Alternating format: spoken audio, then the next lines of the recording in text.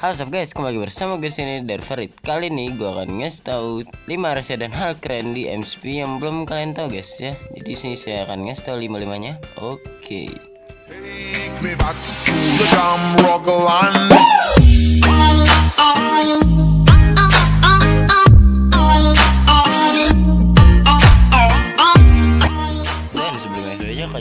dan like video sebanyak-banyaknya dan jangan lupa subscribe channel ini guys ya agar kalian gak ketinggalan video-video dan trik keren akhirnya gue. Oke. Oke guys, jadi yang pertama ini itu trik simpel banget guys. Jadi di sini kalau kalian ingin kayak buat kandang burung gitu, kalian bisa memanfaatkan ini guys, yaitu benda yang dibutuhkan yaitu hanya pakai ini ya, koral ini. Ya, jadi koral ini kalau misalkan ditaruh di apa? Kayak taruh di ini tempat-tempat kering. Nah, itu akan jadi ini guys, nggak berwarna gitu ya. Dan bentuknya kayak seperti sarang burung guys. Nah, ini dia. Kerennya itu guys. Jadi kalian bisa memanfaatkan koral ini ya untuk kalian ini guys ya. Eh, apa sih namanya? Untuk taruh burung di sini untuk sarang burungnya. Ini keren banget guys asli. Dan ya kalau ya, cara ngetem burung pasti pakai biji ya, pakai seed burung parrot ini. Dan kalian dorong aja ke ini guys, ke apa? Ke sarang ini. Nah ini deh guys, jadi dia ada sarangnya itu guys ya, kelihatan keren aja tuh dilihat. Jadi burung di Minecraft sekarang bisa bersarang gitu guys ya. Jadi mantap. Oke. Oh iya, guys, yang kedua ini kalian bisa membuat kalender guys. Ini asli keren banget kalendernya guys ya. Jadi di sini kalendernya itu kayak ada dua gunung, ya pemandangan alam gitu kan. Kan biasa kalender kayak gitu. Ada pemandangan alamnya dan di bawahnya itu ada kalendernya guys ya. Walaupun kelihatannya kotak-kotak kayak gini, nama juga Minecraft ya. kotak-kotak gitu bisanya. Nah, jadi cara buatnya pakai banner guys ya pastinya. Jadi kalian taruh banner di sini, kemudian kalian taruh brick, kemudian kalian taruh insect. Nah, jadi ntar kayak gini guys ya bentuknya. Nah, kalau udah kayak gini, kita masukin lagi yaitu kita masukin ini guys. Apa namanya? Untuk uh, pemandangan ya. Aduh. Waduh kan salah. Nah, oke ini udah kita ambil. Kemudian kita taruh lagi ini guys, yaitu untuk awannya ya. Oke, kemudian kalau udah kayak gini, kita pembagian ininya guys ya, pembagian yang biar bagusin lagi. Nah, kayak gini guys ya. Kita ambil. Nah, jadi kalendernya keren banget guys nih ya. Oke, widih keren banget ya untuk kayak penghias ruangan aja tuh. Widih. Jadi ada kayak kalender gitu ya. Kalau kalian bosen kalian tinggal tambahin aja kalender seperti ini guys. Buat kalender seperti ini juga bisa di survival juga ya. Widih keren dan asli. Asli dah. Ya, jadi di sampingnya ada kaktus gini kan keren ya. Jadi kelihatan modern gimana gitu ya. Widih, mantap. Oke guys, yang ketiga nih kalian bisa menambahkan lampu di Minecraft guys. Jadi ini lampu kayak lampu apa ya di ruang tamu atau ruang tidur gitu. Jadi kayak lampu apa ya? Lampu berdiri gitu lah. Ya, pasti kalian tahu bentuknya kayak gimana. Nah, jadi kalian taruh aja di sini iron trapdoor. Kemudian kita taruh armor stand di sini. Oke, kemudian kita kasih letter cap. Nah, letter cap ini yang udah ada warna hitamnya guys. Jadi kalian pakai cauldron aja untuk mewarnai letter cap ini. Kemudian kita equip kayak gini. Kemudian kita taruh kita kasih piston ya. Eh piston, kita kasih ini warna bawahnya ini. Dan kita kasih iron bars ya untuk mempercantik aja jadi ada batangnya gitu ya.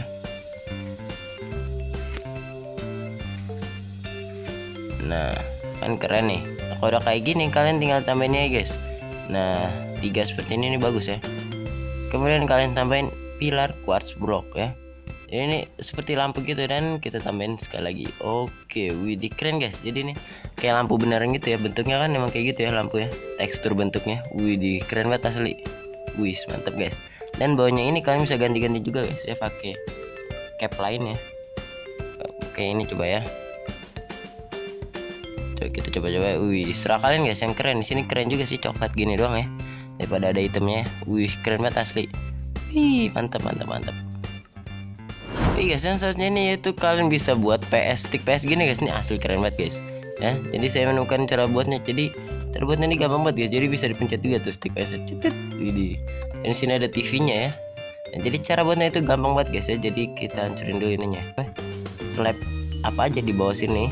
Kemudian kita taruh armor stand di atas slab itu. Oke. Nah kalau udah kayak gitu kalian tinggal tambahin dragon head guys ya. Set set. Oke ini kita liatin aja. Nah kayak gini. Oke kalau udah kayak gini kalian tinggal ini guys apa namanya eh, buat untuk menutup ininya guys nutup ender dragonnya ini biar nggak kelihatan palanya oke. Kita kasih piston di atas ini kemudian kita aktifkan guys. Oh ya aktifkan mana? Ini dia oke.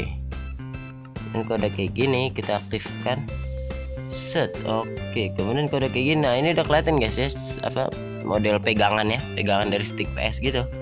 Ya stick controller ya nah kemudian kita tutupin aja. Serah kalian guys. Kalian mau nutupin kayak gini ini kan keren juga guys. Jadi kayak ada mesin apa ya kayak ada CPU dari PS nya itu.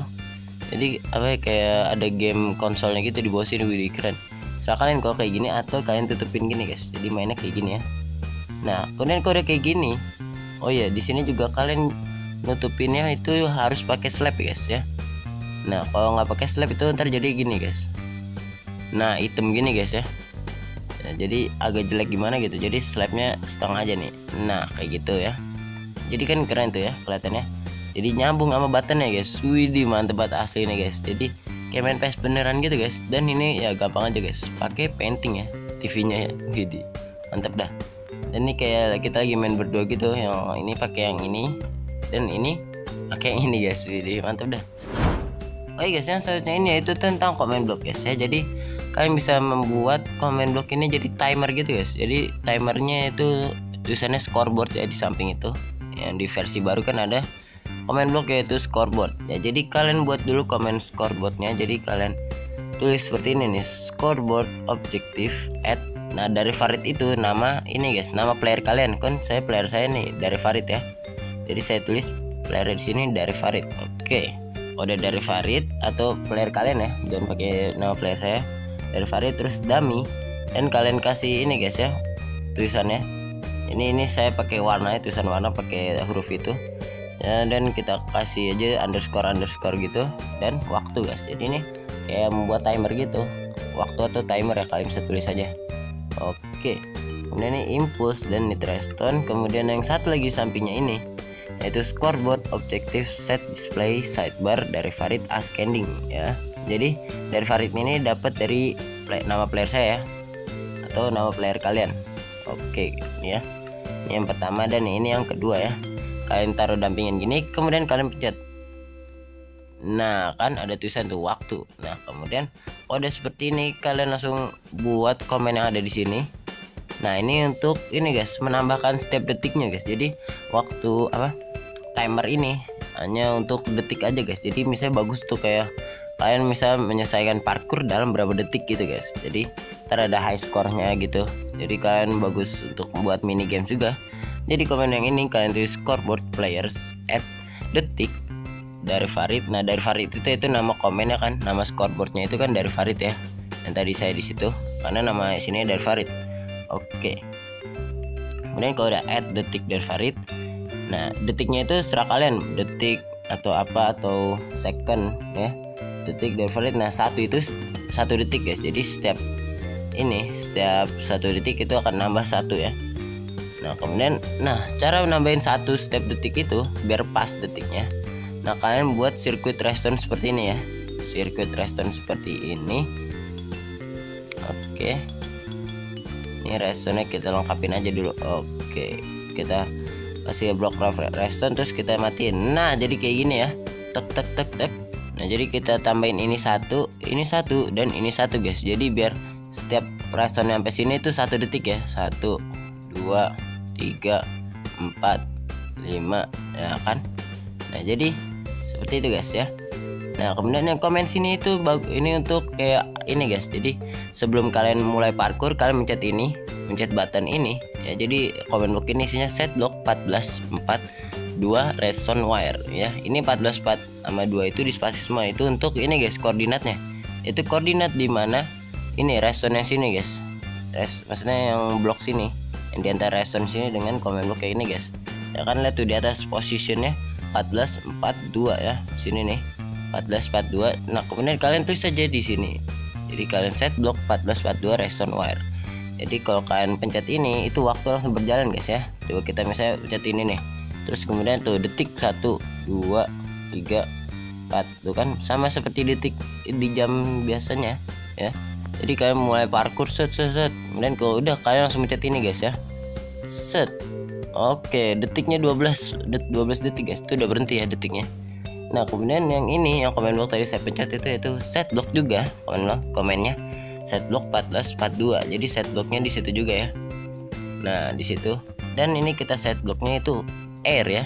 Air itu kalau dalam bahasa Inggris yaitu udara. Jadi menghilangkan reston reston dust di sini guys ya. Di sini kan hilang ya.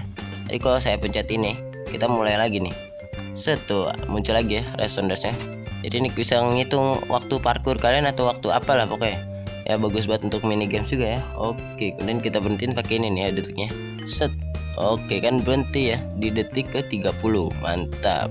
Oke Oh iya semoga cukup sekian di video gua kali ini guys. Ya Jadi sini saya udah ngasih tahu 5 rahasia dan hal keren di MCP Oke nah jadi kalian coba klik like komen share ke teman kalian semua. Dan jangan lupa subscribe channel ini guys ya agar kalian gak ketinggalan video-video dan tekan negeri gua. Sampai di video selanjutnya. Bye bye oke